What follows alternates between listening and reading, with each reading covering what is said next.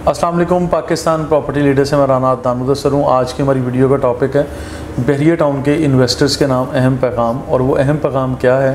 आ, वो ये है कि बहरिया टाउन के मुख्तलिफ़ एरियाज़ जहाँ पे आज से पहले डेवलपमेंट नहीं हो रही थी इस वक्त आप लोगों को डेवलपमेंट होती हुई भी नज़र आ रही है।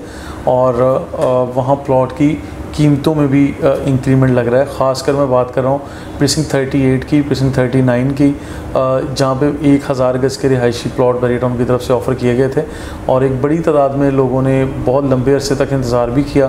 तो वहाँ जितने भी हमारे कस्टमर्स हैं, हमारे इन्वेस्टर्स हैं, उनको मैं मैसेज दूँगा कि एक हज़ार गज़ का प्लॉट आपको प्रिसिंग थर्टी में और थर्टी में सेल नहीं करना चाहिए।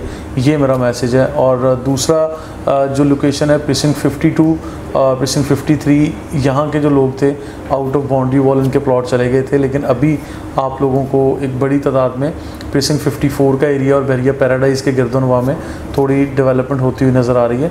प्रिसिंग 54 के करीब जिन लोगों के 500 गज़ के या एक हज़ार गज़ के रिहायशी प्लॉट हैं, उनको सेल नहीं करने चाहिए। और तीसरी लोकेशन मैं बताता चलूँ बैरिया पैराडाइज़ के अंदर ताज महल का आना एक्सपेक्टेड था। जो कि सारे पुराने मैप के अंदर प्रिसिंग 56, प्रिसिंग 57 ये वाली लोकेशन पे आ, दिया गया था कि यहाँ पे ताजमहल बनेगा। तो वहाँ पर भी तरक्याती काम डेवलपमेंट के काम काफ़ी सारे हो चुके हैं। आप दोस्तों को मैसेज ये है कि यहाँ पे अभी अपनी प्रॉपर्टीज़ को होल्ड करें इसको सेल की तरफ़ ना लेके जाएँ। क्योंकि यहाँ इस जगह पे अगर आप लोग सेल की तरफ़ लेके जाएँगे।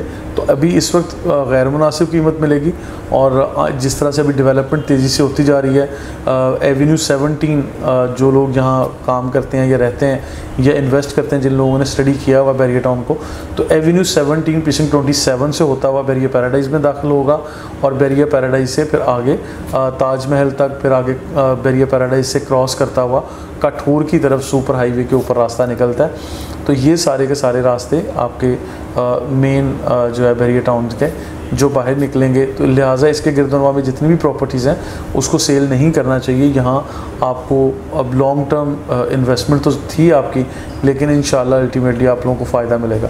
प्रिसिंग 15 बी जहाँ पे 500 गज़ के प्लॉट थे, एक लंबे अरसे तक बहुत सारे दोस्तों ने वेट किया हुआ है। प्रिसिंग 15 बी का ये एरिया इग्नोर किया गया। या इस एरिया में आप समझ लें कि डेवलपमेंट भी नहीं की गई थी, लेकिन आज आप डेवलपमेंट भी देख सकते हैं और एवेन्यू 17 के बिल्कुल ऊपर इसका डिस्टेंस भी बहुत कम है और सारी की सारी इसकी सराउंडिंग डेवलप होती हुई भी देख रहे हैं। लोगों को पोजेशन भी मिल गया तो 500 गज़ का ये प्लॉट जो आपका फिफ्टीन बी में है, जब तक आपको बहुत अच्छी कीमत इसकी ना मिले, इसको सेल ना करें। और परचेज़ करने वालों को मैं कहूँगा कि यहाँ पर परचेज़ किया जा सकता है। आप लोगों के लिए ये रिकमेंडेड एरिया है।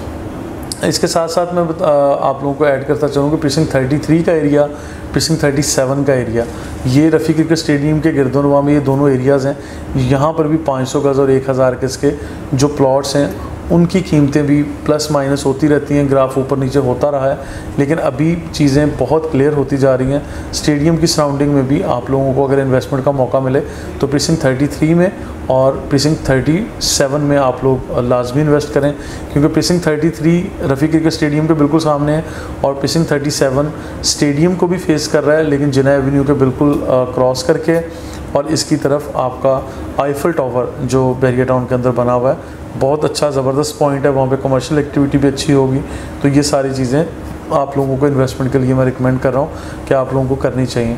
इसके साथ साथ मैं ये बता दूँ कि preceding seven preceding seven preceding four और प्रिसिंग थ्री के साथ में अगर आप लोग देखें तो एक 300 फीट वाइड रोड थी या शायद 300 फीट से भी ज़्यादा वाइड है। वो एक मेन बुलेवार्ड चलता जा रहा है। और उसमें बाउंड्री वॉल है, ये बैरिया टाउन की बाउंड्री वॉल थी, यानी प्रेमिसेस डिफ़ाइन किए गए थे। तो इससे क्रॉस करके भी बैरिया टाउन ने एक अच्छी खासी तादाद में, यानी बड़ा रकबा परचेज़ किया है, जहाँ बैरिया टाउन नई डील देने जा रहा है। ये चीज़ एक्सपेक्टेड है। ये सारी बातें मार्केट में चल रही हैं। आज ये ख़बरें मार्केट में आ चुकी हैं कि यहाँ बैरिया टाउन ये लैंड एक्वायर कर चुका है और ये डील भी देने जा रहा है। ये सारी की सारी एक्सपेक्टेड न्यूज़ हम आपके साथ शेयर कर रहे हैं। तो जैसे ही ये मामला क्लियर होता है, अगर वाकई वहाँ पर डील आती है तो पिसिंग सेवन में एक हज़ार गज़ के प्लॉट की प्राइस भी अच्छी खासी ग्रो करेगी। आप लोगों को यहाँ भी अपने प्लॉट्स को सेल नहीं करना चाहिए सेल की तरफ़ नहीं जाना चाहिए।